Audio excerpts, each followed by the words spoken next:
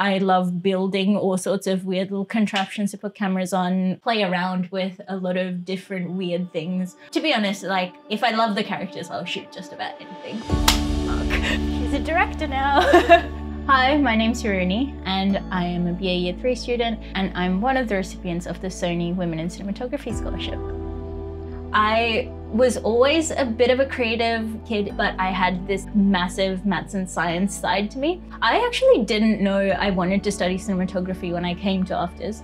That first year, I was trying a whole lot of different things. I was in production design, I was editing. It really wasn't until second year, and still putting cameras on tripods backwards, and it was honestly kind of hilarious. But the tutor that marked that assignment went, oh, you've got a really great eye for lensing and exposure and what do you want to do? What can you see yourself doing? And I just had this light bulb moment. Looking back on the last three years, it's really crazy to see all of the projects that I've worked on, all of the people that I've had the chance to work with in this building. And one of my friends sent me the scholarship being like, oh my goodness, like you have to apply to this. This is meant for you. And I remember applying for it was really, really rewarding because it gave me a chance to look back. It brought together all of the sciences that I was loving from high school, but it was also bringing in this creativity. When I found out that I got this scholarship, I was over the moon, especially because I didn't quite yet feel confident saying that I was a DP.